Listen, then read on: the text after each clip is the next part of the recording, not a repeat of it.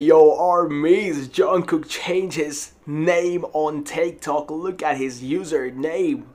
It, it feels like, you know, we are going back to that era when uh, he, you know, uh, set his username uh, on Instagram, right?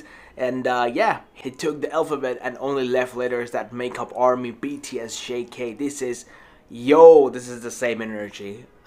I, I know, right? Like, this is, yo, this guy, he is so, like, I don't know what goes in his mind, but he is so talented when it comes to this kind of things. You know, he always tries to do something different. And this username, at first I was like, I was thinking, like, what what is this? Yes, I can see AB, I can see JK, and uh, all these. And then I found out it literally says Army BTS JK.